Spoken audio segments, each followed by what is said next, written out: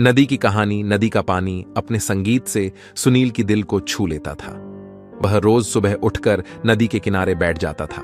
वहाँ पर बैठकर उसे ऐसा लगता था कि नदी उससे बात कर रही है।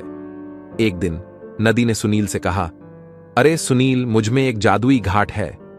सुनील ने हैरानी से पूछा, जादुई घाट? वह कैसा होता है?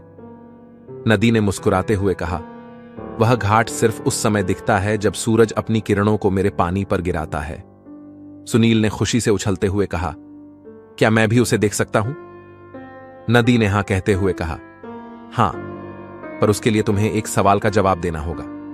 सुनील ने उत्साहित होकर पूछा, कौन सा सवाल? नदी ने कहा, तुम्हें वह बताना होगा कि तुम्हारे लिए प्यार का महत्व क्या है?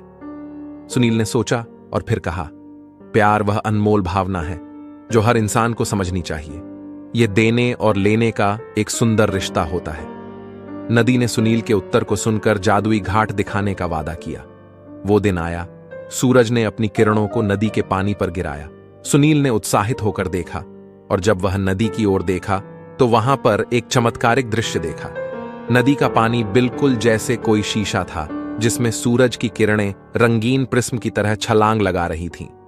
सुनील ने देखते हुए कहा यह तो सचमुच जादुई है। तभी नदी ने सुनील से कहा, तुमने प्यार की महत्वपूर्णता को समझा है और अब तुम इस जादू को अपने दिल में भी देख सकते हो। सुनील का दिल खुशी से भरा हुआ था। नदी की यह कहानी सुनील के दिल में हमेशा के लिए बस गई। वह हमेशा नदी के किनारे जाता और नदी की सुनील के दिल में बसी जादुई कहानी को देखता रहता। पूरी कहानी में सुनील ने नदी की कहानी में रोमांचक तत्वों को महसूस किया।